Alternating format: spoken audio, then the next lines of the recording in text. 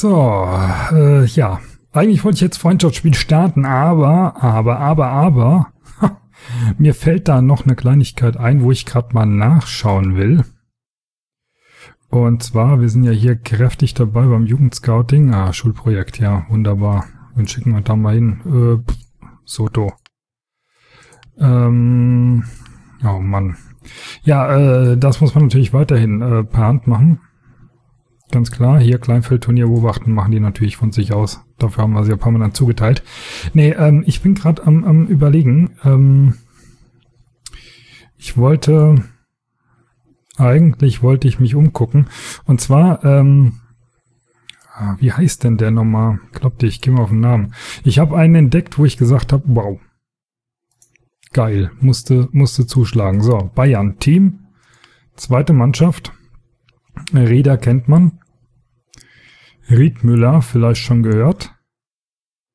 So, und irgendwo ganz hier unten müsste eigentlich, ist er aber nicht mehr. Ha, Oder ist er noch Jugendmannschaft? Nee. Da ist er. Ach du lieber Himmel. In der B-Jugend. In der B-Jugend von Bayern München ist er der äh, Raif Husik.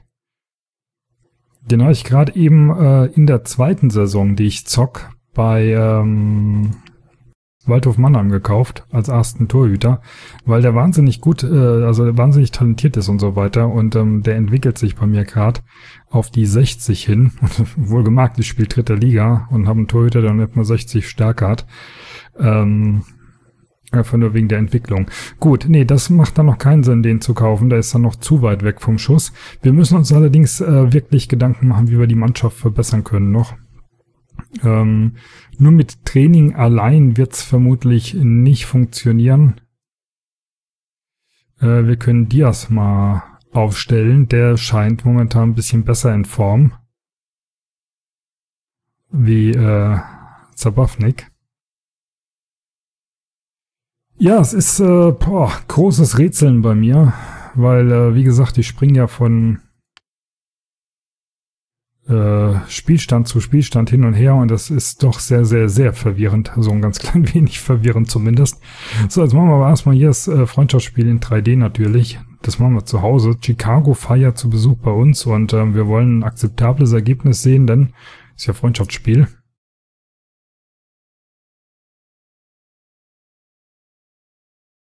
Ja, das ist äh, so eine Sache ne, mit der Entwicklung von so einem Kader. Also ich meine, wir können natürlich den Kader von Mainz 05, so wie er jetzt besteht, versuchen nach vorne zu pushen. Übrigens auch mal wieder eine Anekdote aus meinen privaten Spielständen, was ich da erlebt habe. Ähm, unser Kollege hier, der äh, Caligiuri, der wechselt ja zu Eintracht Braunschweig. So, Eintracht Braunschweig ist im Fußballmanager 13 äh, eine Zweitligamannschaft und die sind dann in echt ja aufgestiegen zum Jahresende in die erste Bundesliga und dann ist er dahin gewechselt. Jetzt haben wir mit realistischen Transfers und so weiter, das heißt, der wechselt dahin. Interessant ist jetzt aber,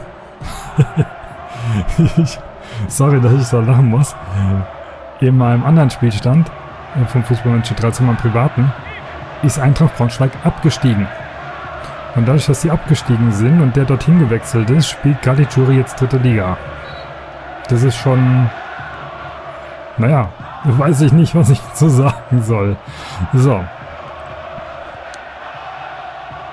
Ja, ich bin am überlegen, wie wir es machen. Es gibt verschiedene Möglichkeiten, eine Mannschaft zu verbessern. Es gibt einmal die Möglichkeit, wir versuchen alles loszuwerden, was uns irgendwie stört und äh, alles Mögliche einzukaufen, was Talent hat und was taugt.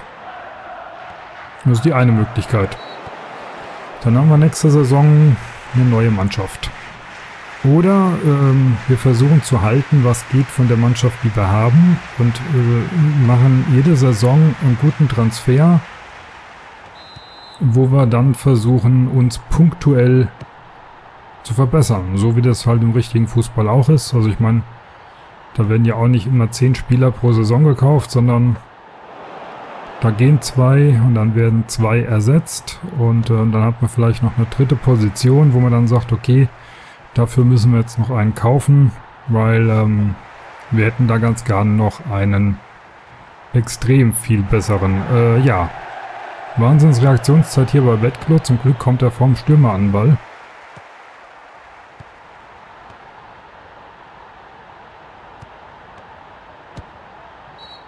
Ja, irgendwie, ich äh, bin mir da nicht so sicher. Die Jungs sind nicht so frisch. Ich habe mal reingeguckt, äh, bevor wir hier die Aufnahme gestartet haben.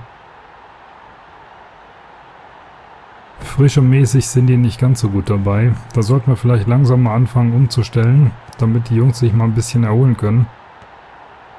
Mein Training ist wichtig, aber man muss auch nicht übertreiben. Ich bin auch gerade am überlegen, was hier die ganze Zeit so ruckt. Also ich bin im Hintergrund zwar am Runterladen von was, aber am Runterladen dürfte eigentlich nicht ruckeln, ja. Verstehe ich ehrlich gesagt nicht so wirklich. So, schönes Freistoßtor hier von Wertz gemacht. Andreas Ivancic. Ja, allein das wäre vielleicht ein Grund, sogar seinen Vertrag zu verlängern. Wenn er denn bleiben will.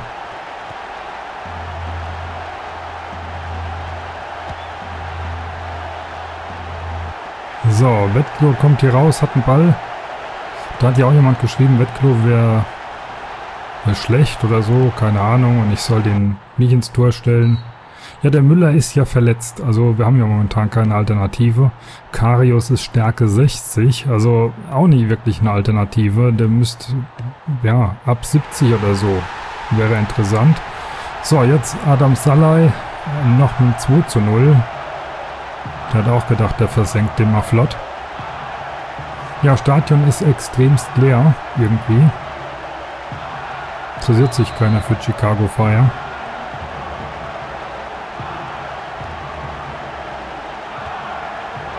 Ja gut, ich meine, wenn ich mir die Spielstärke von Chicago Fire angucke, ähm, zweite, dritte Liga rum, die meisten Spieler tauglich. Ich würde da jetzt äh, nicht direkt irgendeinen Spieler sehen, wo ich sagen würde, jawohl, ja, mit dem können wir mal reden, dass er vielleicht zu uns kommt.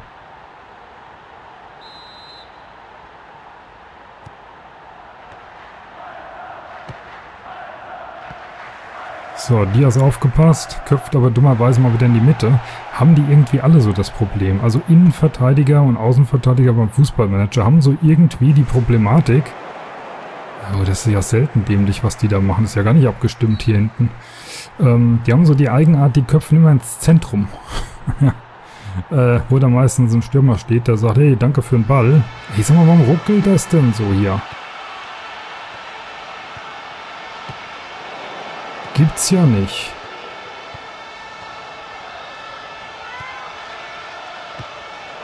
Bin doch gar nicht mehr am Rendern im Hintergrund. Ich privat zock, dann render ich manchmal im Hintergrund. Läuft stabiler wie gerade eben hier. Keine Ahnung warum. So, Freistoß in die Mauer. Zweiter Ball. Äh, bleibt auch hängen am Verteidiger. Dritter Ball. Geht auch wieder zurück.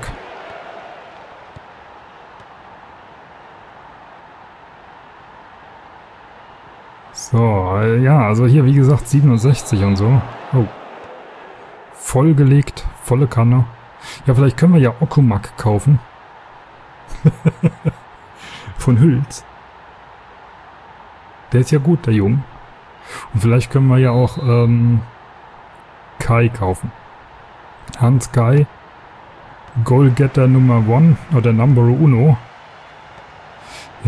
Was, was mich so ein bisschen kirre macht gerade im Moment, ist, dass das hier ruckelt. Also ich hoffe hoff nicht, dass da gerade irgendwas im Hintergrund nicht passt und nach der Aufnahme sozusagen mir hier der Fußballmanager wieder abstürzt. Hat er manchmal so Anwandlungen, dass er einfach abstürzt. Obwohl er schon stabiler geworden ist, seit ich die Umstellung da gemacht habe.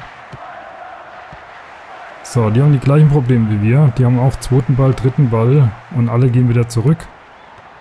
Unser Befreiungsschlag kommt aber auch postwendend wieder zurück. Ja, das System gefällt mir ehrlich gesagt auch nicht so. Ich spiele nicht gern mit einem Stürmer. Ich weiß nicht warum. Ich bin so ein Fan von zwei Stürmern da vorne drin. Ich habe die komplette Dortmunder Mannschaft umgebaut in meinem privaten Spielstand, nur dass ich mit zwei Stürmern spielen kann. Das ist total krank, aber ich stehe auf zwei Stürmer. Ist halt so Philosophie-Sache, ne? So. Rechte Seite ist komplett gelb eingedeckt.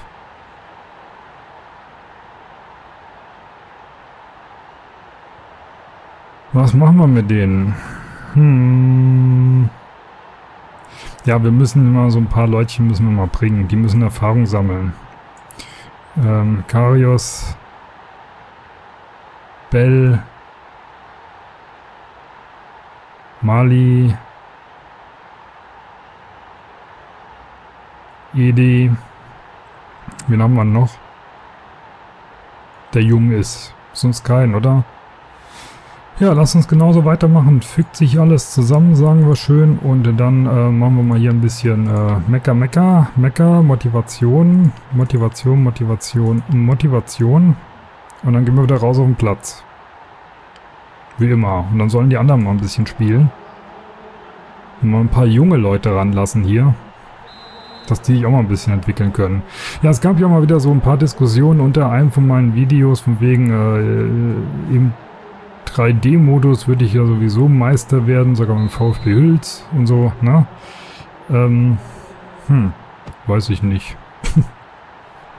Hab vorhin äh, mit Waldhof Mannheim, äh, die sind aufgestiegen, dritte Liga, die Mannschaft ein bisschen umgebaut, hab sie sogar verstärkt und ähm, hab mein erstes Spiel verloren am achten Spieltag. Also es geht. Habe ich 4-1 verloren. Ist nicht so, dass man im 3D-Modus nur gewinnt. Gibt es auch Tage, Formationen oder sonst irgendwas, wo es einfach nicht laufen will. Dann verliert man halt auch mal. So, Mali und Ball ist weg.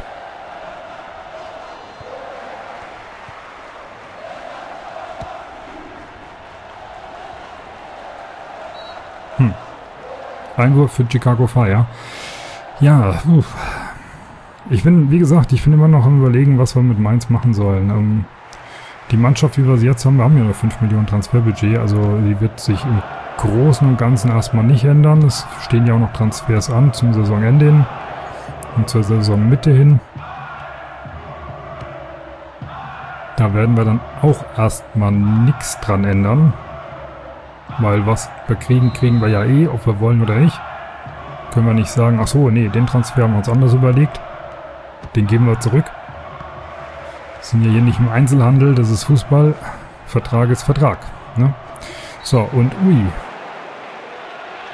Schöne Freistoßposition. Mal gucken, wer den schießt, wenn Ivanschitz nicht mehr auf dem Platz ist.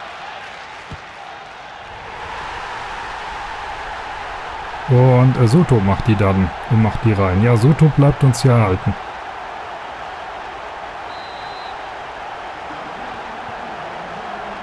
Glaube ich zumindest. Ja, also, äh, puh. Ist halt ein, äh, also, äh, ich mach mir da, mach mir da schon so meine Gedanken, wie wir den Kader hinkriegen. Also nur mit Ausbilden, ich meine, da sind einige dabei, die sind so alt, die, die brauchst du gar nicht mehr ausbilden. Da ist nichts mehr auszubilden, die stehen kurz vorm Fußballrente, äh, Alter, äh, wie auch immer andere wechseln zu anderen Vereinen und ähm, tja, wir müssen uns mal Gedanken machen, wie wir den Kader, den wir haben, vielleicht ausbilden können. Wir müssen uns mal Gedanken machen, wen wir uns noch holen, den wir ausbilden wollen. Und müssen uns mal Gedanken machen, wen wir holen können, den wir direkt einsetzen können. Und das war ein Stürmerfaul. Ganz blöd.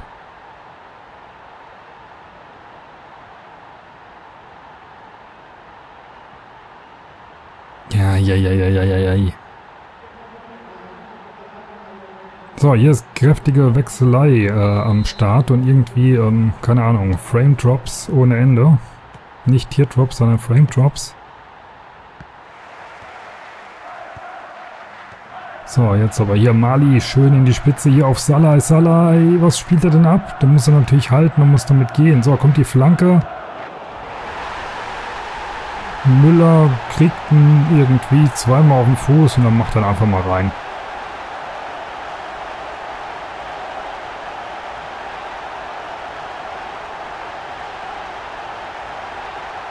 Ich meine, ich äh, verzichte ja momentan absichtlich in dem Let's Play auf meine ganzen ja, Hints, die ich so habe.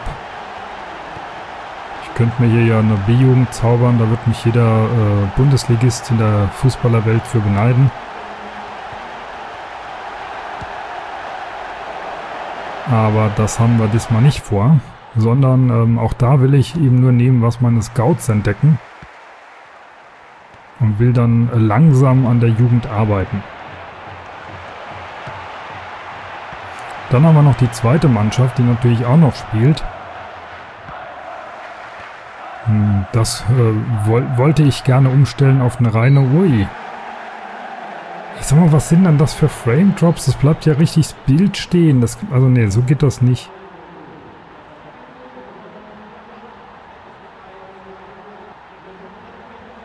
Das ist wegen dem Wechseleien oder was von denen? Kann das sein?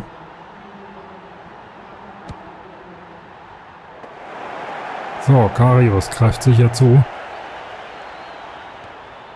Ja, also ich meine, auch die, die zweite Mannschaft will ich als reine U23 sehen. Also da werden wir auch mal gucken, dass wir alles aussortieren, was älter ist wie 23. Und was es nicht geschafft hat, na super. Ja, und was es dann eben nicht geschafft hat, ähm, mit seinem 23. Lebensjahr Vollendung, also sprich, wenn er 24 wird, bei mir in die erste Mannschaft aufzurücken, der wird hergegeben. Und ausgetauscht gegen irgendwas Junges. Die äh, zweite Mannschaft dient mir sozusagen als reine Ausbildungsmannschaft. Und als U23. Die U19 ist unsere A-Jugend, ganz normal, wie es eben so ist. Auch da werden wir gucken, dass wir da vielleicht Talente ranziehen können. Und ähm, ja, von der B-Jugend bis in die erste Mannschaft gucken, dass wir so viele wie möglich da heranführen können als ähm, ja, Bundesliga-Ausbildungsverein. So sehen wir uns einfach mal. Und wir wollen, wenn möglich, natürlich internationales Geschäft, weil das bringt viel Kohle und äh, Kohle können wir gut gebrauchen. Und Mainz ist ähm, auch kein Karrierespielstand. Also ich weiß nicht, Irgendjemand hat geschrieben, es wäre nett, wenn du Mainz ein bisschen länger und so weiter äh, führen würdest. Also wir haben ja Hüls und Hüls ist mein Trainerkarrierespielstand. Und Mainz habe ich jetzt mal ja angefangen zu zocken und da habe ich ja einen Vertrag und den will ich auch erfüllen. Ich glaube, der ist zwei oder drei Jahre lang. Und äh, dann schauen wir einfach mal. Also ich meine, ich habe ja nicht ohne Grund Mainz ausgewählt, ne? Ich habe gesagt, Mannschaft bei mir vor der Haustür, will ich mal gucken, was wir aus Mainz machen können. Ich meine, ich will auch gucken, was wir aus Hüls machen können, aber das ist halt natürlich äh, mit einem Regionalligisten nicht ganz so einfach. Also den bis in die Bundesliga zu führen, das kann ein paar Folgen dauern. So, äh, Torwiederholung wollen wir nicht sehen. Irgendwie, pf, keine Ahnung, spackt ein bisschen rum. So, Karius mit einer 3,0 ist nicht gut für seine Entwicklung. Mali mit einer 4,5 ist auch nicht gut für seine Entwicklung. Bell mit einer 3,5 ist auch nicht so prickelnd für seine Entwicklung. Ja, der Gegner war schon ein bisschen härter.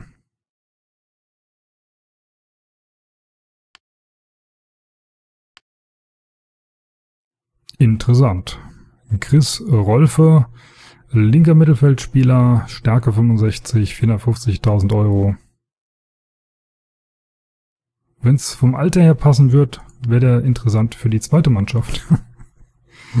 Eieieiei, so.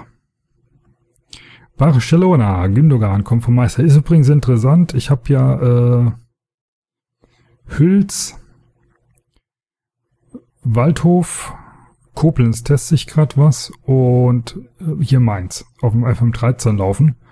Und also ich weiß von Koblenz und ich weiß von ähm, Waldhof Mannheim und von hier Mainz 05 weiß ich, dass Gündogan zum Bayern, äh, zu, zu Barcelona geht. Also es ist irgendwie schon interessant, äh, dass die KI sich da permanent entscheidet. Oh, ja, man will Mali kaufen. Äh, der möchte aber gern bei seinem Verein bleiben. Also brechen wir die Verhandlungen ab weil wir wollen noch ganz gern behalten.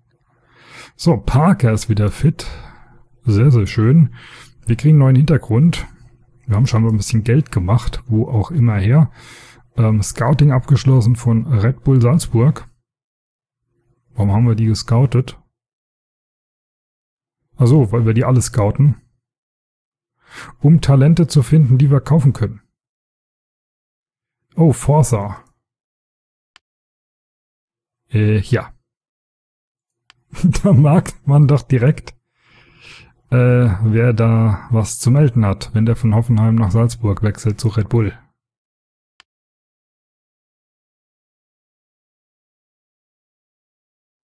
Ja, ist natürlich ein interessanter Kandidat. 73er Stärke wird in die Mannschaft passen. 24 Jahre jung, gut talentiert. Könnte man was draus machen, aber ich glaube, wir haben das Geld nicht, um den zu kaufen. Er hat mittlerweile... Ah, für was ist er dorthin? Für 4 Millionen? Ja, vielleicht könnte man den auch so... Oh ja, das ist ein Spiel gemacht für die. Werden sie so schnell nicht hergeben, gehe ich mal von aus.